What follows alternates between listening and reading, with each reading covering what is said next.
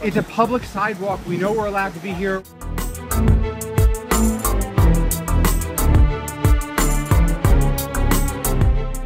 The public sidewalk is my First Amendment right. Do not take my First Amendment right away from me. Touch me, okay? Don't touch. I didn't touch you. I asked you, please don't touch me, and you touched me anyway. Don't touch me.